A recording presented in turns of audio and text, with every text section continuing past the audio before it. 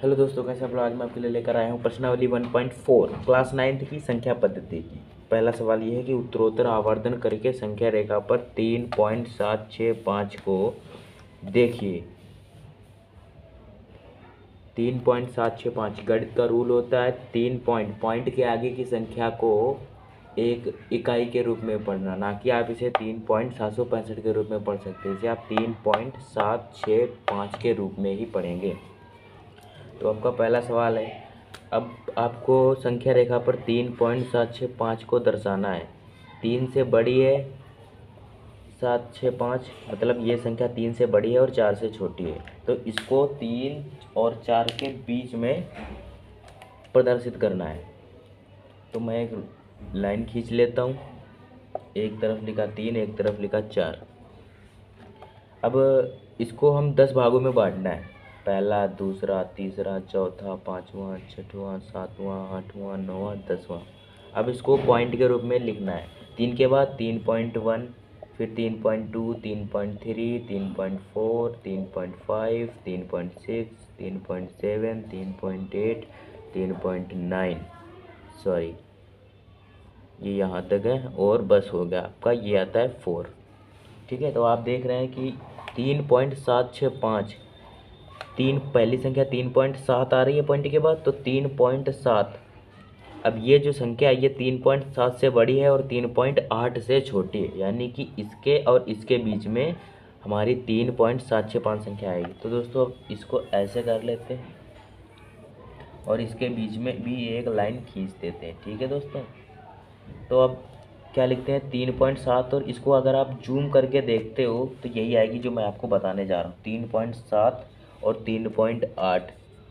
अब आपको करना ये है कि अब इसको भी दस भागों में बांटना है। One two three four five six seven eight nine और टेन ये हो गया तीन पॉइंट आठ। ठीक है दोस्तों तो अब तीन पॉइंट सात के बाद अब आप दो संख्याओं कर, दो संख्याएँ करेंगे तो क्या आएगा? तीन पॉइंट सात वन, तीन पॉइंट सात दो, तीन पॉइंट सात तीन तीन पॉइंट सात फोर, तीन पॉइंट सात फाइव तीन पॉइंट सात सिक्स तीन पॉइंट सात सात, तीन पॉइंट सात आठ, तीन पॉइंट सात नौ। उन्यासी के बाद अस्सी। आता है, क्यों नहीं आता? है इसलिए तो तीन पॉइंट ये आठ ज़ीरो बढ़ा दोगे तो ये अस्सी हो जाएगा। ठीक है? ठीक है दोस्तों तो अब अगर आप देखो तो इन सबके बीच अगर आप पॉइंट हटा देते हो तीन सौ इकहत्तर, तीन सौ बहत्तर, तीन सौ तिहत्तर आते हैं, इसलिए पॉइंट लगा कर और पॉइंट के बाद ज़ीरो बढ़ाए जा सकते हैं, जितने मर्ज़ी हो उतने ज़ीरो बढ़ाए जा सकते हैं, ज़रूरत के हिसाब से बढ़ाए जा सकते हैं, ठीक है दोस्तों? तो हम, अब हमें सात, तीन पॉइंट सात और तीन पॉइंट आठ के बीच में आ गया, अब हमें देखना है कि दूसरी संख्या ये देखनी है तीन पॉइंट सात छः कहाँ पर आ रहा है? तीन पॉइंट सात छः यहाँ पर आ रहा है, तीन पॉइंट सात छः और तीन पॉइंट सात सात के बीच की ये संख्या है, वो कैसे? तीन पॉइंट सात, तीन पॉइंट सात छः से ये संख्या बड़ी है, क्योंकि आगे पाँच लगा हुआ है, और तीन पॉइंट सात सात मतलब तीन पॉइंट सतहत्तर, और ये है तीन पॉइंट सात और छः पाँच। अगर इन संख्याओं को हम बढ़ाते चले जाएँ पैंसठ, छाछठ, सड़सठ, अड़सठ, उनहत्तर, सत्तर तो क्या हमारी आएगी तीन पॉइंट सात, और इसका भी सात, और ज़ीरो अगर लास्ट में बढ़ा लेते तो तीन पॉइंट सत्तर हो जाता है, और इसमें इसमें आप पॉइंट के बाद में हर किसी के आगे ज़ीरो बढ़ा सकते हो। तो इसी तरीके से तीन पॉइंट सात छः मतलब तीन पॉइंट सात छः और तीन पॉइंट सात सात, अगर इसके आगे ये ज़ीरो अगर आप बढ़ा देते हो तो तीन पॉइंट सात सौ साठ और तीन पॉइंट सात सौ सत्तर के बीच में कौन सी संख्या आएगी? तीन पॉइंट सात सौ साठ।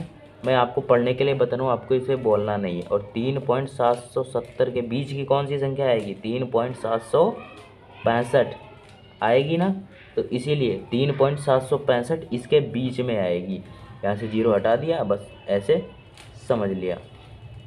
अब हम इसको जब बड़ा करेंगे इस तरीके से तो हमारी बीच में, अब इसको भी दस भागों में डिवाइड कर एक तरफ़ तीन पॉइंट सात छः ठीक है दोस्तों, एक तरफ़ तीन पॉइंट सात सात, इसको भी दस भागों में डिवाइड करना है। ठीक है दोस्तों, तीन, चार, पाँच छः सात, आठ, नौ और दस तो हम इसको जब इसको भी दस भागों में बांट करके हम पॉइंट के रूप में इसको निरूपित करेंगे तो तीन पॉइंट सात छः वन तीन पॉइंट सात छः दो तीन पॉइंट सात छः तीन तीन पॉइंट सात छः चार तीन पॉइंट सात छः पाँच तीन पॉइंट सात छः छः तीन पॉइंट सात छः सात तीन पॉइंट सात छः आठ तीन पॉइंट सात छः नौ ठीक है तो हमारा तीन पॉइंट सात छः पाँच कहाँ पर आ रहा है ये आ रहा है तो हमारी संख्या रेखा पर जो इसको निरूपित करना, ये यहाँ पर आएगा। तो इस तरीके से आप बना सकते हो और पेपर में हल कर सकते हो। तो आपका पहला सवाल, और मैं आपको बता दूँ कि उत्तरोधन आवर्धन, ये जो प्रक्रिया है, ये किस लिए होती है? दोस्तों, इस प्रक्रिया को संख्या रेखा पर अनुसानी आवर्ती दशमलव प्रसार वाली वास्तविक संख्या को देखने में लागू किया जाता है।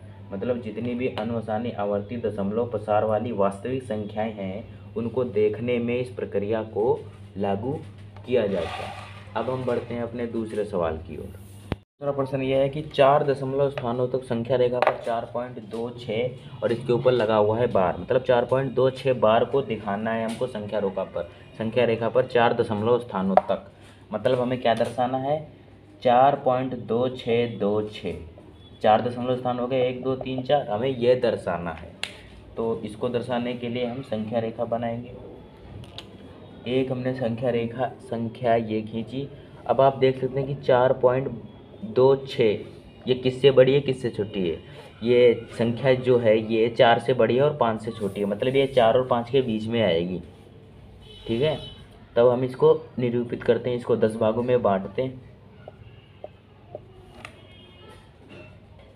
ये दस भागों में बट गए अब इसको हम पॉइंट के रूप में निरूपित करते चार पॉइंट वन चार पॉइंट टू चार पॉइंट थ्री चार पॉइंट फोर चार पॉइंट फाइव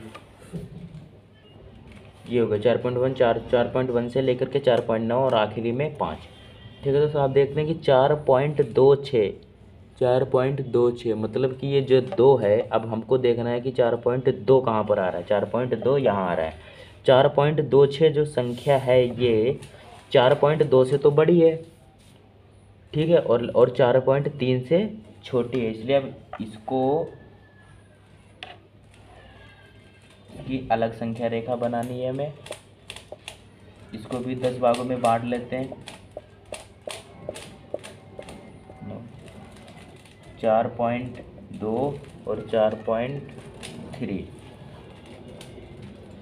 ये दस भागों में बट गए चार पॉइंट दो और चार पॉइंट तीन के बीच में इतनी आएँगी कि चार पॉइंट दो के बाद चार सौ चार पॉइंट दो एक चार पॉइंट दो दो चार पॉइंट दो तीन चार अगर आपको ये नहीं समझ तो मैं आपको आपको समझाने के लिए एक छोटा सा एग्ज़ाम्पल ले रहा हूँ मान लीजिए आप चार पॉइंट दो के आगे ज़ीरो बढ़ा दीजिए तो क्या होगा चार पॉइंट बीस तो चार पॉइंट बीस के क्या बाद आएगा चार पॉइंट इक्कीस चार पॉइंट बाईस चार पॉइंट तेईस चार पॉइंट चौबीस चार पॉइंट पच्चीस तो आप ये देख लीजिए। आ रहे हैं वैसे ही चार पॉइंट उनतीस और लास्ट में क्या आएगा? चार पॉइंट तीस आएगा। तो हम पॉइंट के बाद ज़ीरो बढ़ा देते हैं चार पॉइंट तीस हो गया चार पॉइंट इक्कीस बाईस। तो हो ऐसे सम, आपको समझ में आ रहा है? अगर आप ऐसे समझ लीजिए तो ऐसे समझ लीजिए। पॉइंट ज़ीरो बढ़ा लीजिए बाद में हटा दीजिए। या फिर ऐसे चार पॉइंट दो फिर दो के बाद एक दो तीन चार पाँच छः नौ फिर तीन हो जाता है। इतना तो आपको समझ में आ ही हो गया होगा। अब हम देखते हैं कि चार पॉइंट दो छः कहाँ पर आ रहा है? चार पॉइंट दो छः कहाँ आ रहा है? चार पॉइंट दो छः जो संख्या है, उसके ऊपर बार लगा हुआ है, ठीक है दोस्तों? तो हम क्या करते हैं कि चार पॉइंट दो छः और चार पॉइंट दो सात, चार पॉइंट दो छः चार पॉइंट दो सात। ये हमें दर्शानी है, जबकि चार दशमलव स्थान बोले थे तो यानी कि चार पॉइंट दो छः दो छः हमें ये भी याद रखना है। तो अब क्या करते हैं कि चार पॉइंट दो छः तो यहाँ मिल गया चार पॉइंट दो छः दो छः और लाने हैं। तो हम क्या करते हैं कि ये जो संख्या है, ये चार पॉइंट दो छः से तो बड़ी है, लेकिन चार पॉइंट दो सात से छोटी है। वो कि वो मैं भी अभी बता रहा हूँ आपको। तो यहाँ पर लिख दिया मैंने चार पॉइंट दो छः और यहाँ पर लिख दिया चार पॉइंट दो सात। अब आप देख लीजिए, अगर हम यहाँ पर ज़ीरो बढ़ा देते हैं, चार पॉइंट दो छः ज़ीरो, और यहाँ पर कर देते हैं यहाँ पर हम कर देते हैं चार पॉइंट चार पॉइंट दो सात ज़ीरो। मतलब समझने के लिए आपको बता दूँ, चार पॉइंट दो सौ साठ, चार पॉइंट दो सौ सत्तर। इसके इसके बीच में निकालनी है तो क्या आएगा? चार पॉइंट दो सौ साठ के बाद चार पॉइंट दो सौ इकसठ, चार पॉइंट दो सौ बासठ, चार पॉइंट दो सौ तिरसठ, चार पॉइंट दो सौ चौंसठ। इसी तरीके से यहाँ पर आएगा, इसको हम जब दस भागों में बांटेंगे, जब इसको दस भागों में बांटेंगे तो क्या आएगा? मान लीजिए यहाँ पर ज़ीरो दो सौ साठ हो गया चार पॉइंट दो सौ इकसठ चार पॉइंट दो सौ बासठ चार पॉइंट दो सौ तिरसठ या दो छः है तो दो छः के बाद फिर से एक से शुरू कर दो चार पॉइंट दो छः एक चार पॉइंट दो छः दो चार पॉइंट दो छः तीन चार पॉइंट दो छः चार चार पॉइंट दो छः पाँच चार पॉइंट दो छः छः चार पॉइंट दो छः सात चार पॉइंट दो छः सात और सॉरी आठ एक दो, तीन, चार, पाँच, छः, सात, आठ और चार पॉइंट दो, छः दो, छः, सॉरी, दो, छः, आठ, दो, छः, नौ। दो सौ उनहत्तर के बाद दो सौ सत्तर अगर आप यहाँ ज़ीरो बढ़ा लेते हो, ठीक है? तो क्या हो गया हमारा? अब चार पॉइंट दो, छः, दो देखनी है कहाँ पर है? चार पॉइंट दो, छः दो हमारा यहाँ पर है और चार पॉइंट दो, छः, दो से चार पॉइंट दो छः दो छः ज़्यादा है और चार पॉइंट दो छः तीन से कम है। तो हम यहाँ पर फिर से बना लेते हैं। ठीक है दोस्तों? और जब यहाँ पर बनाते हैं तो हम क्या करते हैं? यहाँ पर बना लिया। ठीक है दोस्तों? और यहाँ पर बनाने के बाद हमने क्या लिख दिया? चार पॉइंट दो छः दो। दो छः दो और चार पॉइंट दो छः तीन। इनके बीच में आप, जैसे मैंने पहले एग्जांपल बताए हैं, वैसे आप देख लीजिए। ज़ीरो बढ़ा के आप कर लीजिए और नहीं तो आप, मैं ऐसे आपको समझा देता हूँ। दोस्तों, दस भागों में विभाजित हो गई।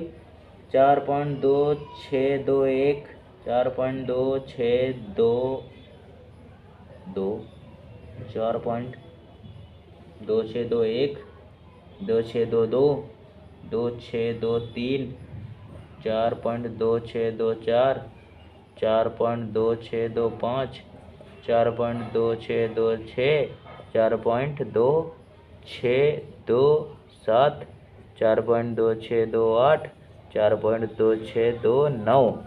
ठीक है दोस्तों, समझ आ गया। अब आपको देखना कि चार दशमलव स्थान हो चुके हैं। अब हम देखते हैं चार दशमलव दो छः दो छः कहाँ मिल रहा है। ये मिल रहा है चार दशमलव दो छः दो छः मतलब हमारी उत्तरोधन चार पॉइंट उत्तरोधन आवर्धन इस प्रक्रिया में चार पॉइंट दो छः दो छः चार दशमलव स्थान यहाँ पर निरूपित होगी। तो आप इस प्रकार से इस क्वेश्चन को भी हल कर लेते हैं। अगर वीडियो अच्छी लगी हो तो प्लीज़ वीडियो को लाइक कमेंट शेयर ज़रूर करिएगा और अपने दोस्तों के साथ भी शेयर करिएगा और चैनल को सब्सक्राइब करिएगा। मैं अब मिलते हैं अगले वीडियो में प्रश्नावली 1.5 ज़बरदस्त शुरुआत के साथ। तो दोस्तों thanks for watching this video have a nice day